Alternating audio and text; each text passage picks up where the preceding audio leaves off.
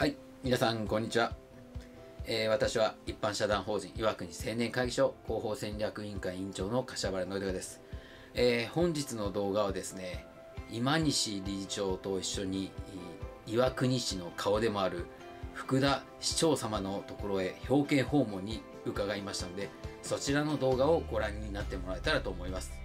それではどうぞ。まあ、ようこそあの青年会議所理事長前理事長。あはい、はい、お待ちしてました。あ今年度の理事長職預かってます。今西と申します。はい、改めましてよろしくお願いいたします。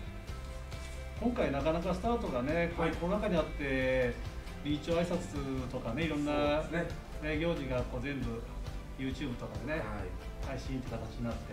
そうですね。まああのこういうコロナの中でもですね、うんえーまあ、事業活動を止めることなく、また新しい形でですね、えー、何かしら発信という方法を考えて、うんえー、歩みを止めることなく、えー、我々も活動していきたいなというふうに思っております。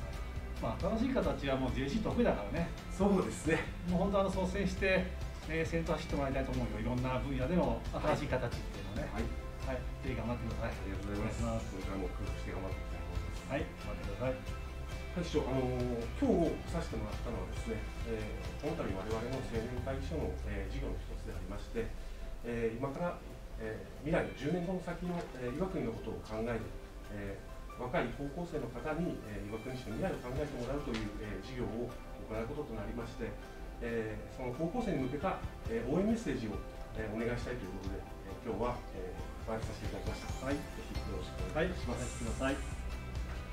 高校生の提言ですね、これね。はい、今から10年ぐらい前にもね、市の新しい総合契約の中にも、JC の方々がね、当時のね、はい、そういったあの高校生のアイデアを出して、まちづくりに素晴らしい提言を行ったのを、今でも記憶してます。あはい、10年ぶりの授業になります。そうですね。はい、わかりました。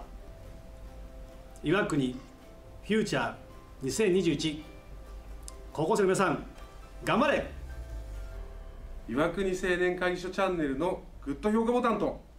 チャンネル登録をよろしくお願いします。